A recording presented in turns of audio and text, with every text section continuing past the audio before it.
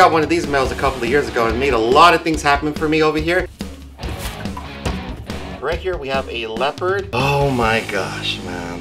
This is freaking beautiful. What's up YouTube? How's everyone doing today? Hope everyone's having a great day. Uh, quick before we start this uh, vlog real quick, um, do a big shout out to Portuguese Pythons. Dude, they just bought a powerhouse male that actually I had got one of these males a couple of years ago and made a lot of things happen for me over here and we're still using that male till this day. Um, that's none other than the spot nose red stripe yellow belly clown. Go check out his Instagram, man. He has some crazy, crazy stuff. Not only did he get that male, but he got something even crazier. But guys, um, as you can see, we have a crazy unboxing that we have to do today. We still have to go pick it up here shortly, so we're just waiting. Before we go pick up the package, um, I decided to show you guys a clutch that was called um, kind of like an accidental clutch because we only did this pairing one time with this female and she stayed around 14 millimeter follicles so we didn't even think she was going to end up going. And out of nowhere she ended up laying and we're like what the hell man? And the pairing was a male uh, leopard blade clown uh, het lavender to a blackhead confusion lavender so it was pretty cool man to see what came out we had only four eggs and let me tell you it came out pretty freaking cool. So let's start off with this one right here, which is just a normal double het. Look at that pretty cool little snake. And then we right here we have a leopard double het lavender clown. Then we have this beauty right here. Man, this thing's freaking nice right here. Look at this. Blackhead double het lavender clown. This thing is so freaking pretty, man. Looks a little green in a way. It does, huh? Kind of yeah. like the army snake. Yeah, exactly. So and then we have the one that we were really, really excited about. And I'm not sure exactly if this is Confusion or Leopard yet. Um, again, I've never really hatched any of these before. Right here we have a Leopard. Uh, I would say probably Confusion, man, or, or Leopard. I don't know, you guys help me out with this one. But yeah, man, it was pretty cool. Out of four eggs, we got some pretty good odds, especially on the clutch that we weren't even expecting for them to hatch or to for her to even go. But again, guys, so now we're gonna do is pretty much wait until we get the alert. It should be around here within 15 minutes. Then we go pick up at FedEx. We haven't been receiving any snakes over here at our house anymore just because with the temperature, it's a lot safer just to pick them up at the hub. So once we get the alert that the snake's there, we're gonna take off. While we're waiting, Turtle had a really good suggestion. We had thawed out some frozen uh, frozen thawed rats, but they're not frozen anymore. So let's feed a couple of these retics while we wait.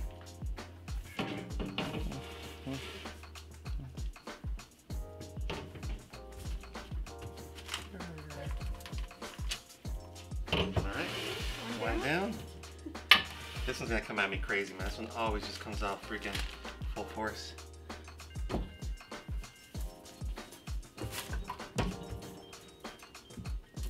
Damn. Trying to get in there, turtle? Like climb in? Want to climb in. That retic will take you out. You're not too, you're not too much of a big dog. but yeah, all right, guys. So we'll probably feed these two twice. We like to give them two large rats because we haven't been able to feed. Oh wait, we got this one to go. Come oh here, come here, IMG. Come here. No, it just scared me. Whew. Just my acting scared. I like to be an actor. I'm working on my acting skills. You fooled me. Yeah, I fooled myself too. All right, guys, let's go get the snake. So, guys, you know what's one of my biggest like pet peeves, and you know, um, I don't know. You guys, let me know how you guys feel, but I cannot stand when I cannot drive a car for going somewhere. Like we're gonna go pick up the snakes, but Tina said no. I want to drive. And of course, I'm letting her drive, you know, her car, so, you know, she gets to drive. But uh, let me know how you guys feel about that, man. Does that bother you guys, or or is that just me? I think it's just you. Keep rising the road. Jeez. You're not a vlogger. You can't, like, you know, do... I can drive without looking. No, big dog. Look.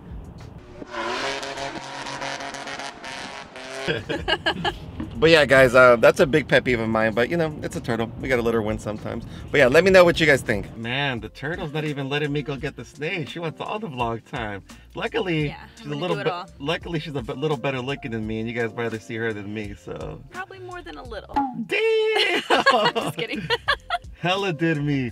Damn. Bye, turtle. Bye. Do you, do you pick up snakes cooler than I do? I do. They know me here. Man. Yeah. They um, do? Actually, yeah. I really don't I'm pick not yeah. lying. yeah, you're right. And there, the turtle goes putting on her mask on. Hell yeah. What happened to them knowing you? I don't know that guy, but they asked for Miguel Garcia. Not, Dang, not that's me. jacked Not up. Turtle. What are you Nobody sent the package to Turtle. Dude, that guy, that fool kind of disrespected you. Dang, what do you say? He said uh, they only allow big dogs to pick up big dog packages. No, he didn't say that. Yeah, that. he did. No, I, he I'm gonna, wanna go and tell him? Yeah. I recorded. Carry on. Man, it is time, guys. So, you guys remember again? I brought this up recently because I just started doing some unboxings again. Um, you know, people when I first started getting into this industry, people were calling me always buying uh, pythons. You know, that's I mean, people were talking crap. The funny thing is, is you know when they're calling me always always buying pythons. The funny thing is, I knew about like five, seven people that were investing way more money than I was in snakes, right? Most of those people are probably not even around anymore. But the funny thing is, is that the only difference what I did was I just put myself in front of the camera to, you know, get made fun of. And a lot of these people, these old school breeders or these people who talk so much crap or just random people, they're not even in the industry no more, you know. But um, it always brings me back to always buying pythons. And I, the reptile industry is probably one of the only industries and hobbies that I know that people like old school breeders or just people in general will will talk crap about new breeders coming in. You know, um, any other business, you know, you have to invest in the business to create a business. You can't just be like, oh man, make this up and boom, it, it happens like that, right? Uh, so it's always been very funny to me now. But now I don't call myself always buying pythons. I call myself always investing pythons. I'm we're five years in now, and man, dude, I mean, this, this is what we do for a living now, and this all pays for itself, and it pays for this, you know. And it's just so cool to be where we're at right now. And I'm not trying to sound like cocky or arrogant in any way. It's just it's, it's just it's so crazy because I see new people coming in now, and then these people are getting like made fun of or this and that, and I don't know, man. Just keep on going, guys. Once you shut these people up, trust me, all they're gonna do is then they're gonna try to be friends with you. And they're gonna be like, oh man, this guy has that snake. Man, I've been doing this for like hundred years, and I still can't even make that. So just keep on going hard with the guys. Keep on investing on these snakes, man. Trust me, it's super super worth it. And buy yourself males. Buy yourself males, dude. I Tina's laughing a lot because I thought I was good this year, and I had come out of pocket again for a couple of males. And trust me, a uh, a breeder male right now in this day's market, it's freaking expensive. You could buy a, a, a pretty awesome male for like four to six grand, or even three grand. Raise it up and it'll be ready. Or you could wait a year and a half and think you have the male and then pay ten thousand dollars for a male that's just freaking het. It's insane, but it's much needed. It always pays off anyways. All right, guys, so this snake over here came out from Justin Kobylka. It's literally one of a kind snake. Um, I believe no one else has a snake. Um, and, you know, it was kind of hard to get it from him. Um, but, you know, Justin, you know, him and I, you know, he's, he, I've been giving, uh, sending him some snakes. He's been um, sending me some snakes. This snake is very, very important to me. And I'm going to ask you guys, I'm going to let you guys know why it's very important to me. I had chances to make, um, to get another snake that was a little more powerful than this, but it wouldn't have worked out for me. And you guys are going to see why. So, again, let's, um, take this out. Jesus. Uh, that's a balance and a half right there. Turtle, you take care of that. But yeah, guys, this male is so freaking awesome, dude. I'm telling you, no one else has this. And especially with this, with these genes stacked to it. I am so freaking excited, guys. Like Your super, face just super lit excited. up right now. Dude, it's been a look. So by far, this is the most expensive uh, snake that I've purchased um, since I've been in this industry. You know, I've, I've purchased some expensive snakes, but this one right here uh, takes it. You know, and it's so cool to be in this position now where you know I used to be so nervous or afraid to invest into a five thousand, six thousand dollar snake, let alone an eight thousand. We've done thirteen thousand dollar snakes, and what you see what they do afterwards for your own collection and the payout on them is just so insane, man. I could again, I'm talking a lot just to kind of get an idea. I remember my first big investment was a pastel spot nose clown. I paid like five grand for him. This was three, four years ago, and I was like, man, that was a lot of money to get to a you know a male breeder. And man, that guy made me a loan. I think it was around like thirty something thousand dollars that year, and I made Batman's and stuff.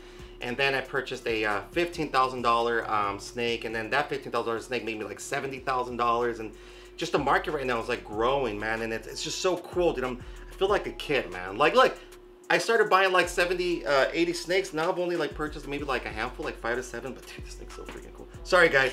I'm so excited. I'm like nervous, excited, and dude, this guy's so freaking awesome. Let's see. Dude. Wow. Oh my gosh, man. This is freaking beautiful. I can't freaking believe this. Look at that. Let me put it right here. Maybe it might be better with colors. And he's just chilling right there. Oh yeah, he's bright like that. Oh gosh, that is so freaking insane, dude. Man. So right here we have a spot nose red stripe enhancer G stripe 100% het clown. Dude, how freaking insane is that? Again, enhancer, and you know, again, enhancer desert ghost. Um, you know, basically the same thing. Um, don't yell at me. I know people like to stick with enhancer. This was sold to me as enhancer, so it's gonna stay enhancer. Um, but yeah, guys, I mean, dude, such a freaking powerhouse, man. I mean, two amazing codoms in there, much needed, spot nose and red stripe. Uh, Desert Ghost, well, enhancer, much needed. Um, G-Stripe, I don't have no G-Stripe here in my collection. 100% het clown, I have a buttload of clowns here. So the reason why this snake is so important to me is I could have got a clown version of this that would have been het uh, G-stripe with two more codoms. But the problem is I have no genetic stripes whatsoever. I could have purchased a couple of females. That could have, you know, um, I could have to wait two to three years, or Mike is a year and a half to breed them.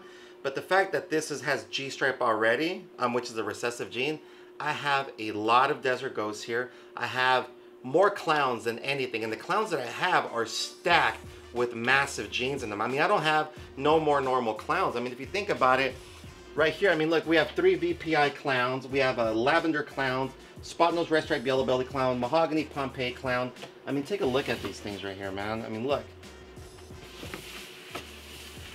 Cypress, uh, Batman, yellow belly scarecrow, um, orange dream, yellow belly leopard clown het pied, black pastel Wookie yellow belly clown, I mean, Black Pastel Clown het Hypo, Spot Nose Red Stripe, uh, Cinnamon Clown with a lot of mold in there, needs to get cleaned out. I mean, it, it's so insane how much clown stuff that we have here. Lace clowns, chocolate clowns, trident clowns. And dude, that's not even with the other females that I have over there that I'm still raising up. I mean, we're, we have about, last time we checked around 70 clowns and that's not even including our holdbacks that we have on the other side that are clown het desert ghosts. But the key to this guy is like all the desert ghosts had clowns or vice versa that I put to them. I mean I'm gonna get visual clowns uh, visual clown desert ghosts combos because I don't have anything that's just normal that are gonna be 100% het genetic stripe like that's why this snake is so freaking important to me man. And again look at this dude so freaking insane. And guys, sorry again, you know, that I'm talking a lot. It's just, you know, if you guys are in, you know, I know there's a difference between seeing this as a hobby and seeing this as a business. To me, this has been a dream come true for us.